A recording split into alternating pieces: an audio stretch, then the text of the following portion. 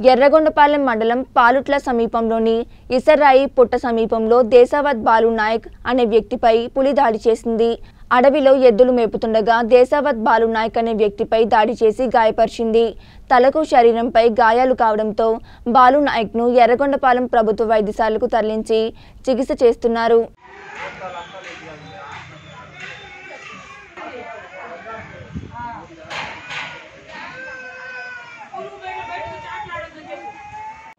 ఐదు టైంలో ఎద్దులు ఇంటికి తోలకు రావాలని తోలకు వస్తుంటే వెనక నుంచి దాడి చేసింది పెద్ద పులి. అది కుంటల పడుగు దారి ఇసరాల పుట్ట దగ్గర జరిగింది.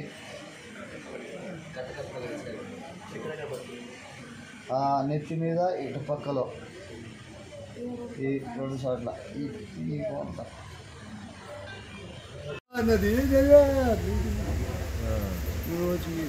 అన్నది రోజు దూరం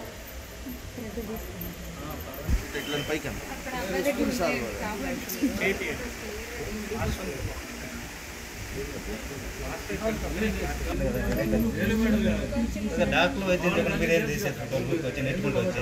నేను మీరు చేసేయండి. తర్వాత వచ్చేసి